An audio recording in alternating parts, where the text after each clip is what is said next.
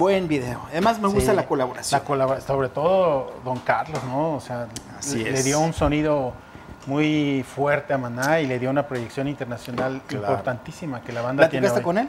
Platiqué con él, me tomé unas fotos con él y él, una gente muy sencilla, muy, muy ¿Te tranquilo. dio la bendición?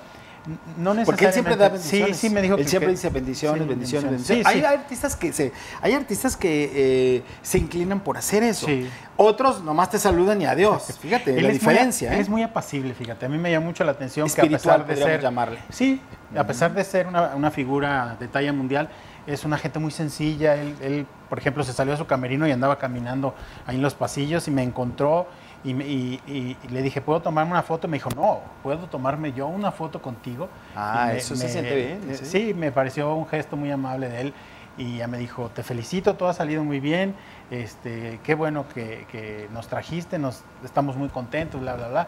Y, y fue un trato muy amable y muy gentil de, de su parte, muy, muy buena onda, don Carlos. Esas son las anécdotas que uno conserva.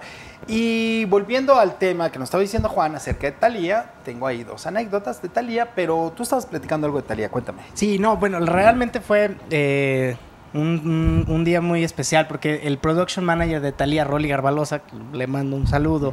eh, yo estaba chavito, estaba muy, muy pequeño y le dice a mi papá, oye, ¿y ese niño qué? Ah, pues es mi hijo. ¿Habla inglés? Sí, habla inglés. Ah, ¿me lo puedo llevar? Sí. Y me trajo de su asistente todo el concierto. traductor. Sí, este, eh, poniendo stand de micrófono y fue algo muy, fue la primera vez que me paré en un escenario y ya había gente en el Ya, lugar. ya sentías el Y nervio. Sí, sí, por eso no me voy a dedicar a la música. Por eso no va a cantar. voy a cantar. ¿ya? Ni aguantas nada. Sí, pero fue, fue una experiencia eh, interesante. Ya después con los años me volví a encontrar con Rolly, pues ya, este, él igualito, yo un Cuando, poquito más cuando cambiado. trajimos a Marc Anthony venía Rolly Garbalosa y, y lo vio y me dijo, este no es tu hijo, ¿verdad? Le dije, sí, este es. Este es el chiquito que me ayudaba. Le dije, sí, este es el, el chiquillo ¿Ya que me ves? ayudaba". Ahí está, ahí está la experiencia acumulada. Por cierto, déjame te platico que Talía acaba de lanzar un video y una canción con el grupo cubano Gente de Zona. La canción se llama Lento y es un exitazo. Está en el primer lugar hoy en, el, en las listas de ventas eh, digitales de iTunes. Tú no has cantado la de ¿Me, me escuchan? No, esa no la he cantado, pero a ti la que te escuché cantar muy bien es la de piel morena. Eso es lo tuyo. Bueno, quiero la decirte verdad, que Juan. yo hice la única gira que, que se ha hecho de Talía en México. ¿En serio? Sí, ella solamente ha venido a una gira completa conmigo. Hicimos Toluca, hicimos DF, hicimos Monterrey, hicimos Guadalajara, hicimos León. Ahí está. Y no me invitaste porque no recuerdo No. haber visto esa gira. Pero ¿sabes qué? Yo conocí a Alto Talía. voltaje se llamaba. ah, conocí a Talía cuando Alfredo Díaz Ordaz. Ah, era tu amigo. Alfredo, Era mi amigo, Sí. exactamente, en paz descanse.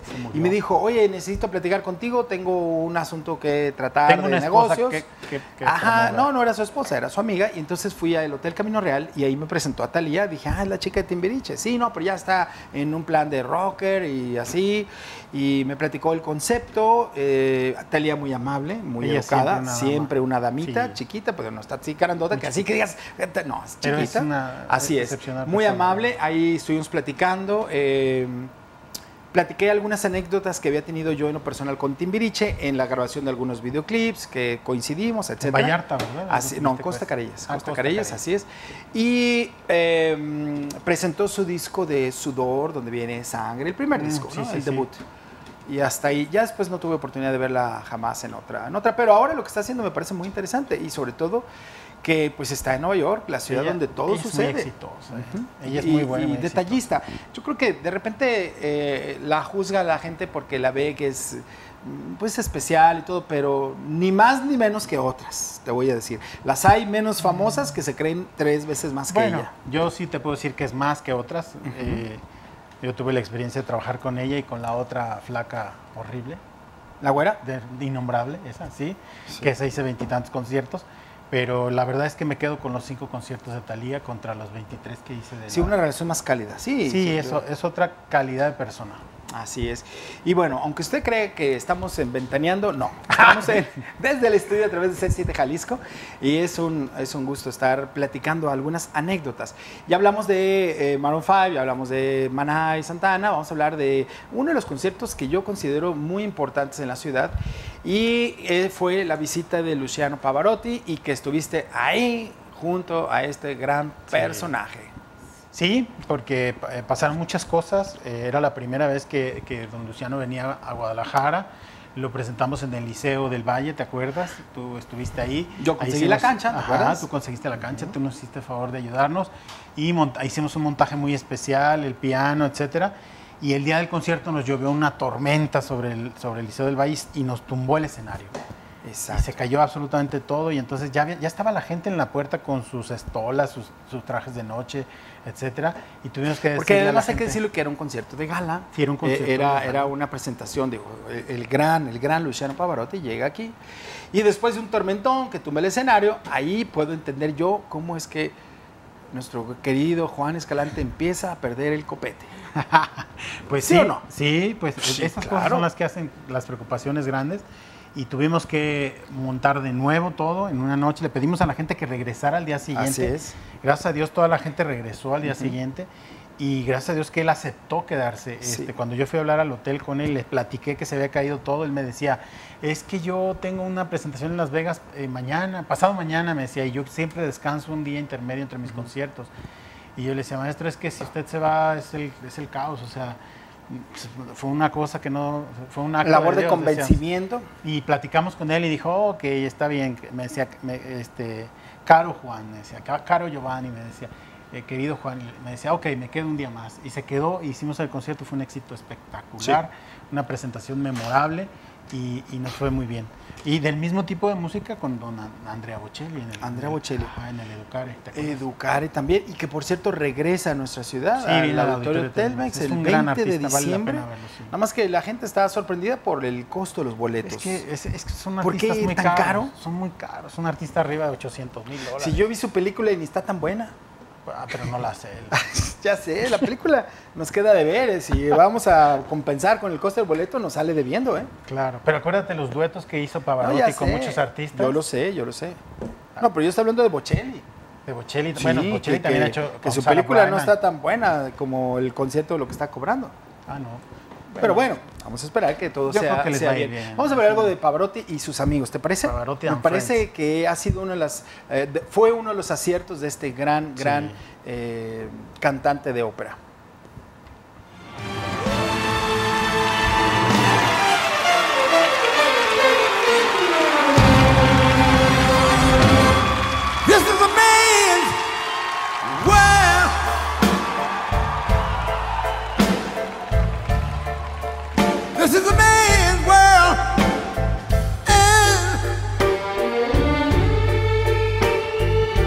But it wouldn't be nothing, nothing, nothing without a woman or a girl.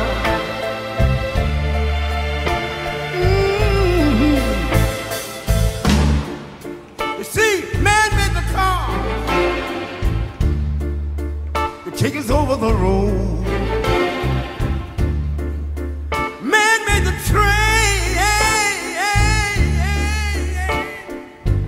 Carry the heavy load. Made the electric lights to take us out of the dark. And man made the boat for the water. Like my Bible said, Noah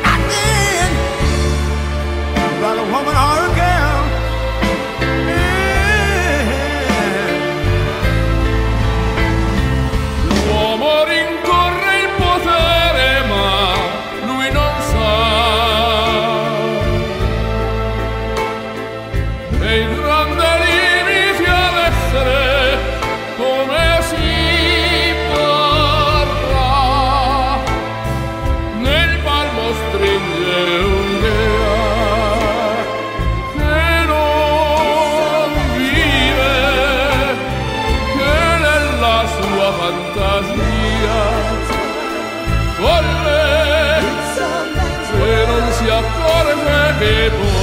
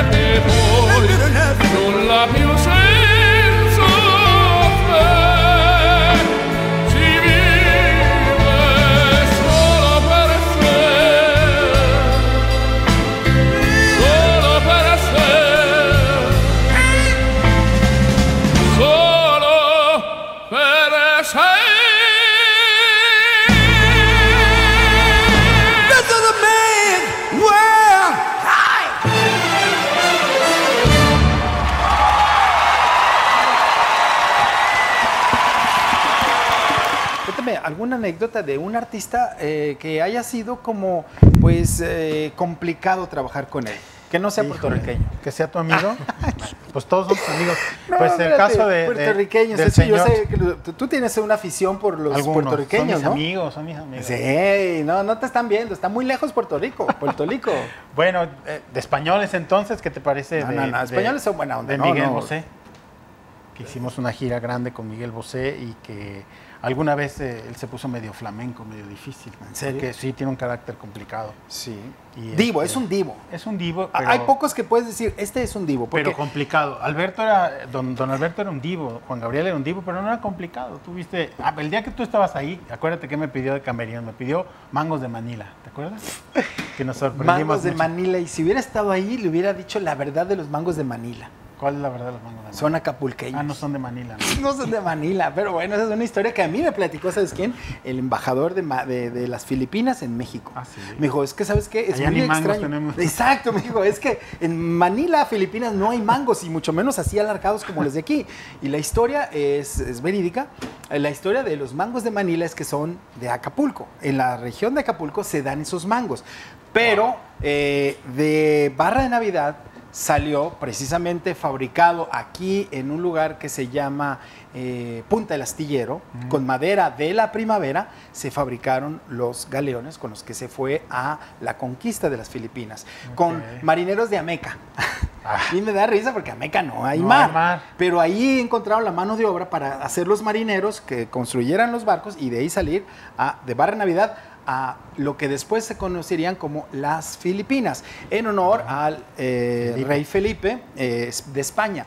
Pero bueno, en esos viajes de ir y venir, eh, resulta de que salieron...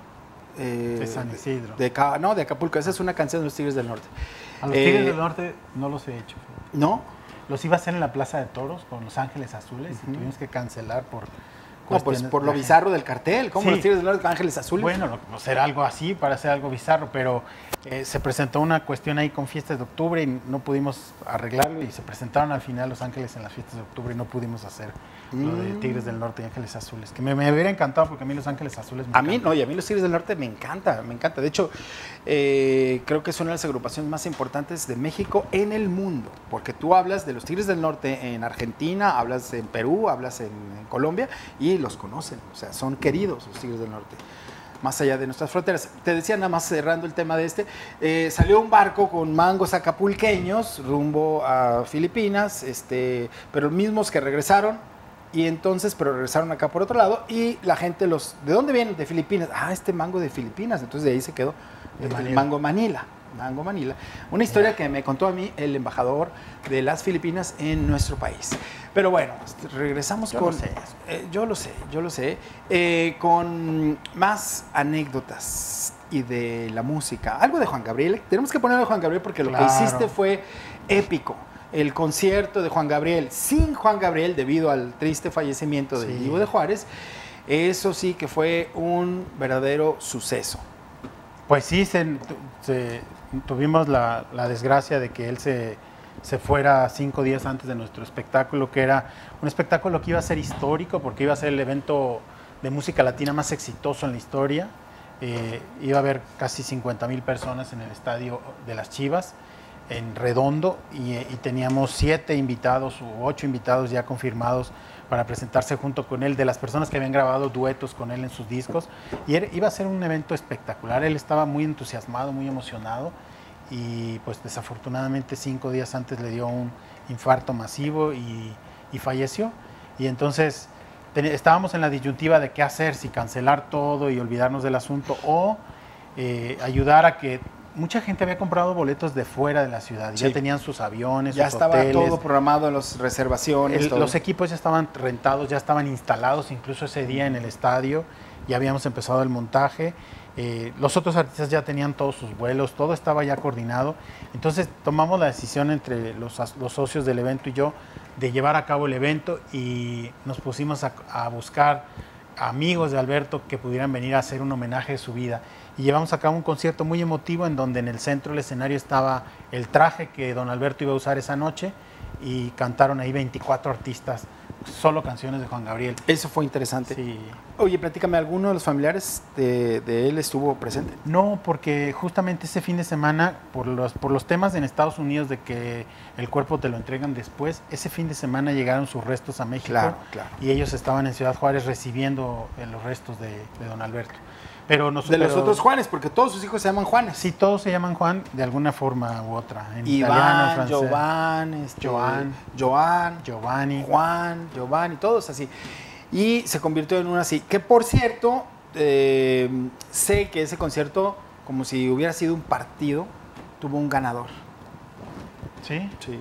¿Quién fue? Todo mundo, Vox Populi. El que sacó la mejor calificación en cuanto a su desempeño, en cuanto a su entrega, en cuanto a todo, Diego, Diego Verdaguer. Verdaguer. Claro. Bueno, sí. ¿Sí o no? Sí, hubo dos, dos artistas que a mí me dejaron Deja- deja que impresionado. dé el veredicto ver, final. No, sí, yo creo que yo creo que igual vamos a coinci- coincidir. Diego Verdaguer y Paquita la del barrio. Para mí los, Sí. los que se llevaron el concierto. Bueno, yo, yo sé que Diego Verdaguer fue el que se llevó el cariño de todos. Sí. Sí. Bueno, a mí me parece que hubo otro artista que, que le gustó mucho a la gente, que nunca había estado en Guadalajara y que encantó, que fue Jerry Basúa. Jerry vino sin haberse presentado nunca en la ciudad, cantó el Noa Noa y bueno, aquello era una fiesta, ¿tú te acuerdas? Sí, sí, O sea, sí, el, sí, el claro. estadio completo se Claro. paró a bailar y la gente estaba Feliz. muy feliz de, de bailar el Noa Noa sin Don Alberto. ahí. Sí, yo creo que mucha nostalgia. Pero veamos algo de Don Alberto de sus duetos, ¿no? Uf, claro, eh, me encantaron los duetos que hizo. ¿Sabes que en el nuevo eh, disco viene Aretha Franklin? Sí, el tercero, Duetos Elton 3. John. Que no sé cuándo salga, yo estoy ansioso. Sí. Lo que este, pero quiero platicar es eh, un dato curioso.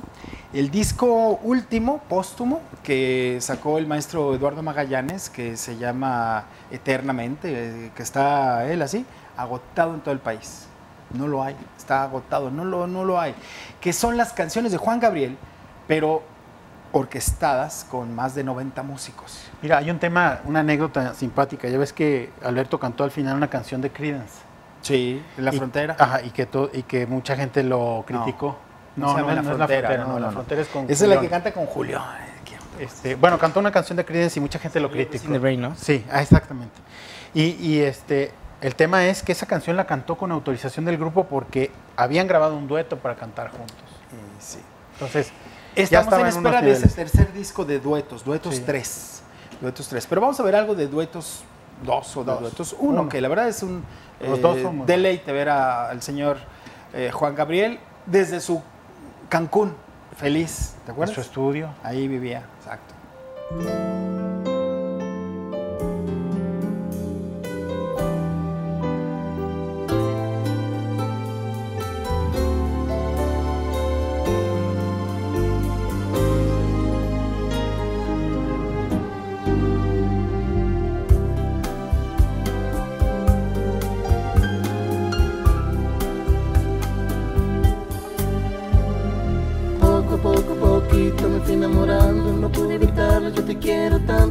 tanto, tanto, tú bien sabes cuánto, eso y otro tanto te quiero decir. que ya no vivo por vivir, que ya no vivo por vivir. Poco, poco, poquito me fuiste enseñando a besar tus labios, tus ojos, tus manos, tu cuerpo soñado que tengo en mis brazos. Quiero ser de ti, yo voy a ser de ti.